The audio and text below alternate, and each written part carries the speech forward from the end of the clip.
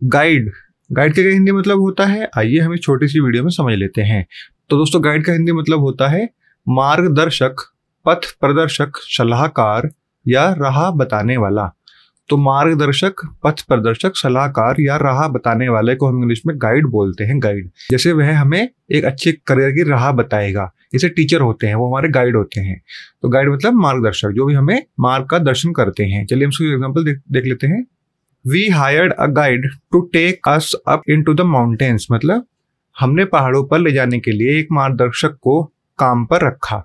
दोस्तों इस सेंटेंस में गाइड का मीनिंग हुआ मार्गदर्शक। दोस्तों, उम्मीद है आपको इस वर्ड का मीनिंग अच्छे समझ आ गया होगा। इसी तरीके की वर्ड मीनिंग की जानकारी के लिए चैनल को सब्सक्राइब करने के साथ साथ बेल आइकन को प्रेस करना बिल्कुल ना भूलें, ताकि मेरी वीडियो की लेटेस्ट अपडेट आप तक सबसे पहले पहुँचे। और हाँ अब वोकेबलरी बैंक को इंस्टाग्राम पर भी जाके फॉलो कर सकते हैं। Thank you